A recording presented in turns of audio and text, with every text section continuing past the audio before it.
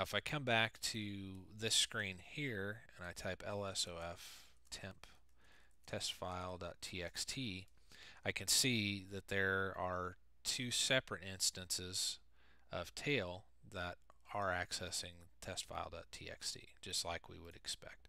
I can tell they're different instances because they've got the different PIDs here.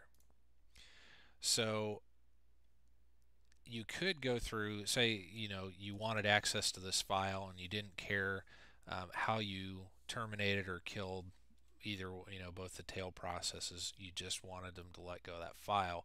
You could uh, kill them in one of two ways. The first way uh, would be to issue the kill command and use uh, backticks to enclose an argument to the kill, kill command. And what we're going to type inside the backticks is lsof-t, and that's that dash t is for the terse option, which strips out all the data from the output except for the PIDs. And then we're going to do temp test file.txt. What this does is the backticks tell the shell to execute the command with inside of here and then replace all the backticked line or section of the line with the output. So this command right here would give you a list of PIDs which would then be fed directly into kill.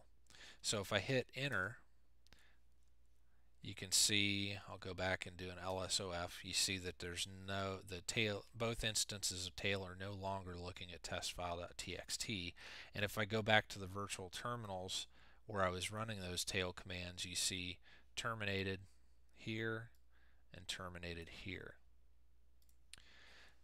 now I'm going to go ahead and set this back up for the next way of doing this of, of killing both of the tail processes Okay, so we do an LSOF. We see both instances of tail are running and looking at that file again.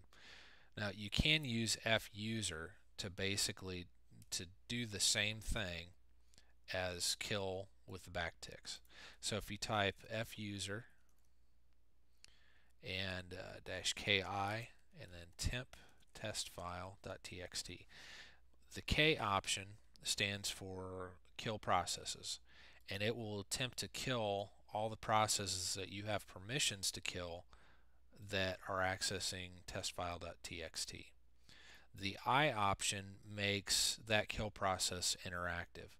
So every time that fuser wants to kill a process, it will say, is it okay to do this, yes or no.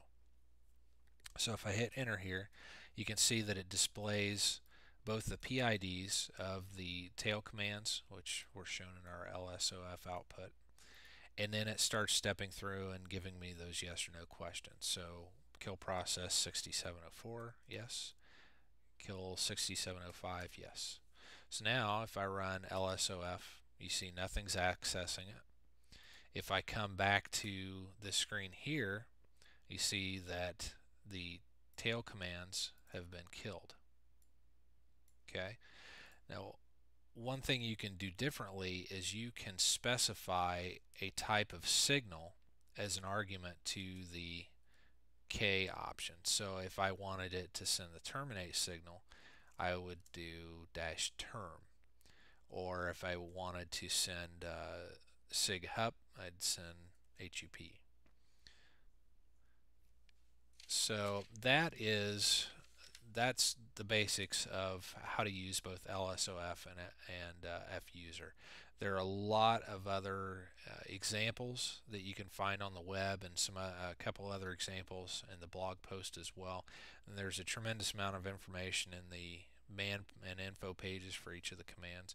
One thing to remember on LSOF is that when it runs sometimes, especially when it's doing network scanning or uh, network connection scanning, it, it may take a while to complete.